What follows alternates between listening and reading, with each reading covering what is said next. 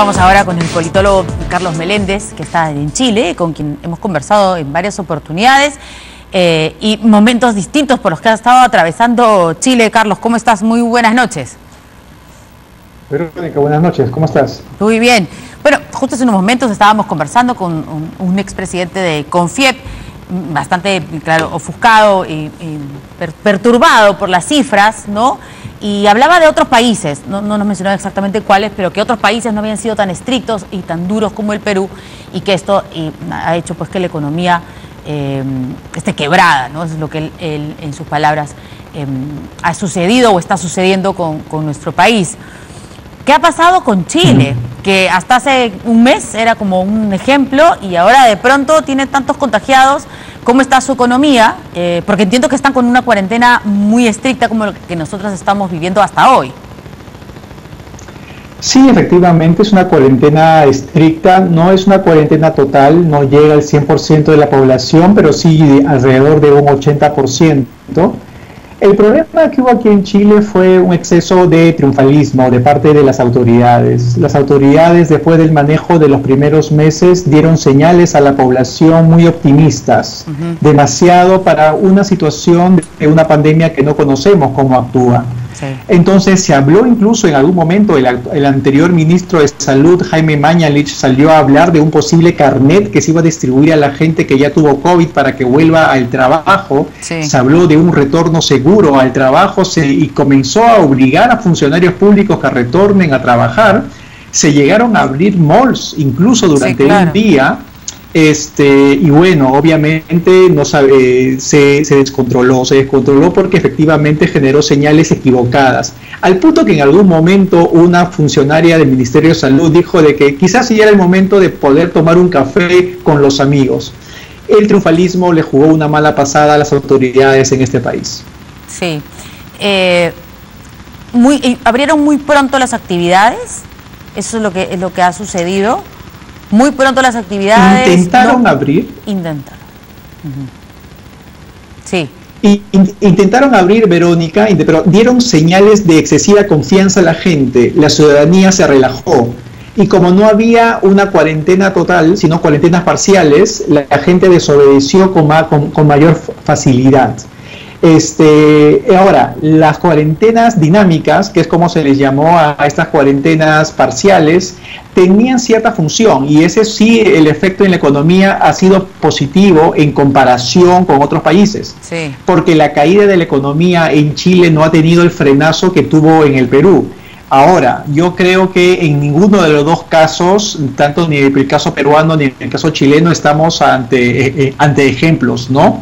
Ambos países están entre los de, mayor, de, mayor contagio, ¿no?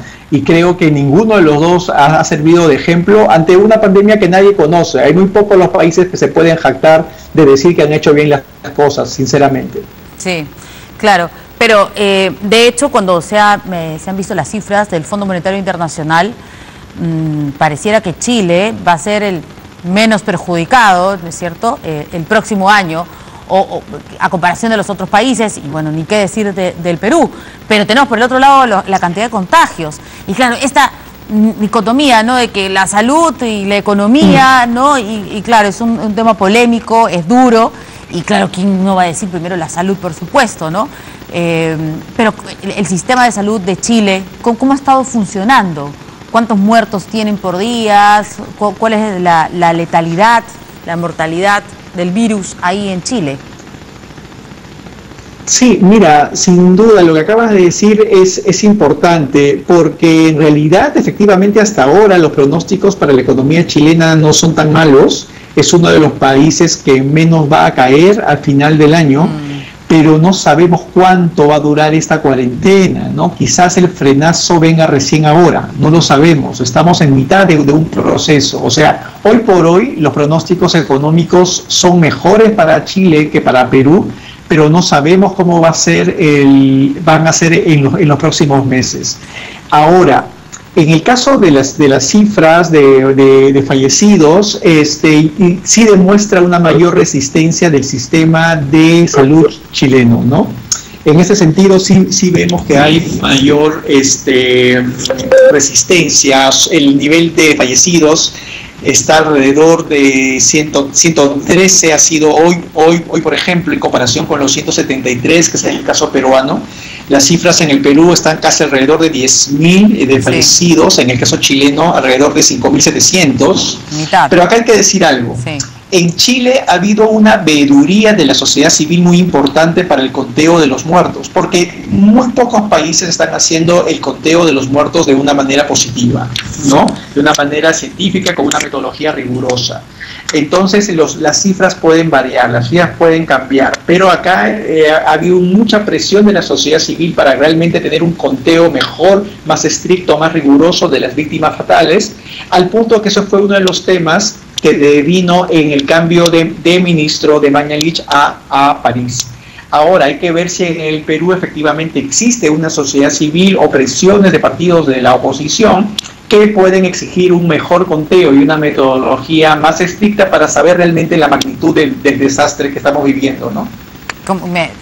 Me, me, sonrío cuando hablas de, de, partidos de oposición. Si partidos a las justitas. ¿ah?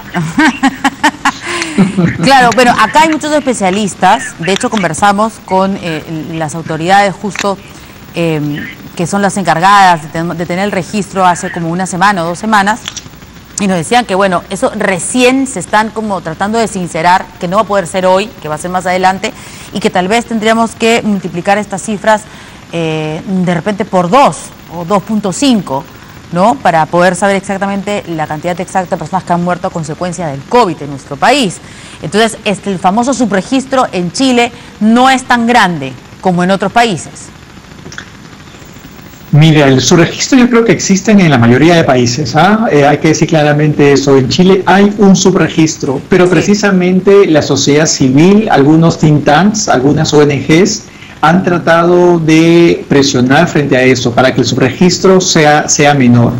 Ahora, en el Perú efectivamente va a hablar de partidos es una exageración sin duda, pero yo creo que efectivamente los líderes de la oposición, que hacen muy bien campaña mediática y a través de redes sociales para aparecer en las encuestas, podrían hacer algo más productivo este, de cara precisamente a su relevancia pública, exigiendo o buscando metodologías que puedan realmente mostrar a la ciudadanía la magnitud de, de este problema.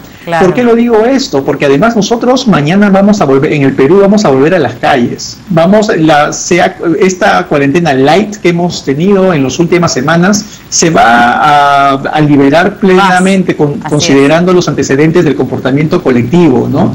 y podemos caer en el triunfalismo que ya cayó Chile y que, generó esta segunda ola de, de contagios que esperemos no suceda en el Perú. Por supuesto que no. Muy bien, Carlos. Muchas gracias. Siempre un placer conversar contigo. Hasta pronto. Igualmente, Hasta pronto. Que les vaya bien. Saludos. A esta hora los dejamos.